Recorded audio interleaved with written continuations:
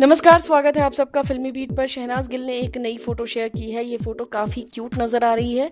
हमेशा की तरह एक बार फिर से शहनाज गिल काफ़ी फ्रेश नज़र आ रही हैं। इस फ़ोटो में वो पू टैडी के साथ नज़र आ रही हैं और काफ़ी क्यूट है उनका ये पू टैडी भी। इस फ़ोटो को शेयर करते हुए उन्होंने काफ़ी अच्छा पोस्ट भी लिखा है, बहुत अच्छे कैप्शन भी उन्होंने दिया है, साथ ही इसे फैंस भी बहुत ज़्यादा पसंद कर रहे हैं हमेशा की तरह। शहनाज गिल हमेशा ही सोशल मीडिया पर एक्टिव रहती हैं और आपको ये भी बता दें कि शहनाज गिल को टैडी काफ़ी पसंद है। आप देख सकते हैं एमएसके में भी इस टैडी से कितना प्यार करती नज़र आई थी शहनाज गिल। ये टैडी उन्हें गिफ्ट में मिला था और इस टैडी को शहनाज ने सिद्धार्थ शुक्ला की टी शर्ट भी पहनाई थी। इसके पहले भी वो एक और बहुत ही क्यूट टैडी के साथ नज़र आई थी। तो इस तरह से शहनाज गिल का ये टैडी लव हमेशा ही दिखता रहता है। एक बार फिर से ये टैडी लव दिखा इस फ़ोटो में।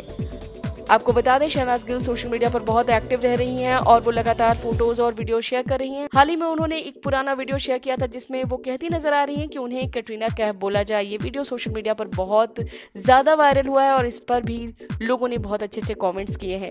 और अब शहनाज ने शेयर की ये फ़ोटो और इस शेयर और इस फ़ोटो में वो बहुत क्यूट नज़र आ रही हैं। आप सबको शहनाज की ये नई फ़ोटो कैसी लग रही है, आप हमें कॉमेंट करके ज़रूर बताइएगा। इस वीडियो में बस इतना ही।